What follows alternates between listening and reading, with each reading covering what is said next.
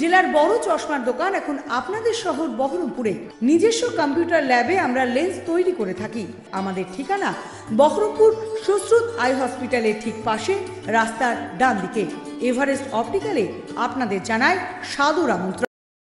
ঘুম থেকে উঠতে গেট খুলে দেখে বাড়ির সামনে বোমা, আতঙ্কিত পরিবার।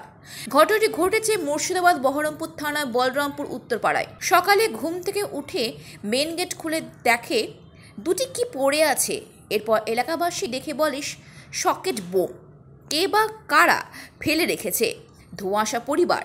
ঘটনায় খবর পেয়ে বহরমপুর থানা পুলিশ এসে ঘিরে রাখে। এরপর বোম স্কোয়াড টিম এসে নিষ্ক্রিয় করে। ডোমকল থানা, গড়াইমারি এলাকা থেকে এই এলাকায় বাড়ি করে থাকেন এই পরিবার। বলরামপুর এলাকায় তার কোনো শত্রুতা নেই, তবে তার গ্রামের বাড়িতে পরিবারের জমি সংক্রান্ত একটি বিবাদ রয়েছে।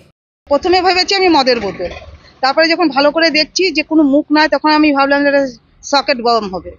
তখন আমার হাজবেন্ডকে ডাক দিলাম। হাজবেন্ড এসে বলল যে, আমি তো কোনোদিন সকেট বম দেখিনি, মনে হচ্ছে সকেট বম তখন বলল যে, তুমি সরে যাও।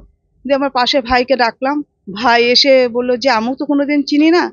যে রাস্তা দিয়ে অনেক মানুষ যাচ্ছিল, তখন বলল যে, মনে হয় বম তোমরা সব সরে যাও। যে আমরা সরে গেলাম। সরে যে পুলিশকে সঙ্গে সঙ্গে ফোন করলাম। কারা রাখল এটা তো আমি বলতে পারব না। আমি এখানে নতুন এসেছি।